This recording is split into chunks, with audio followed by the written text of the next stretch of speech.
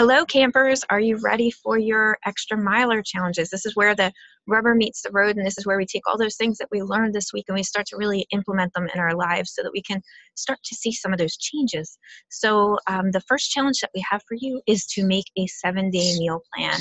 Um, even if you can only plan out your dinners, that's going to really just uh, revolutionize your, your week. Uh, and it'll help you from making uh, poor choices just because you're rushed for time and everything.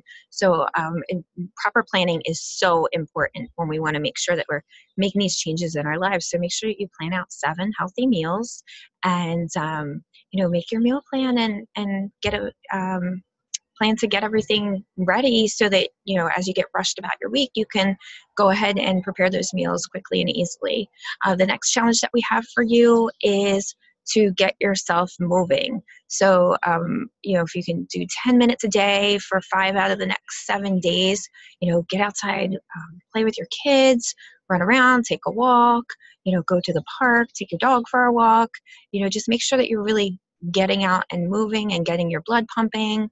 Um, you'll really start to, to notice a difference. And that'll actually help you out with the next challenge, which is sleep. So, plan to get at least seven and a half hours sleep um, for you know five out of the next seven days. You know try some of the products that we offer to you.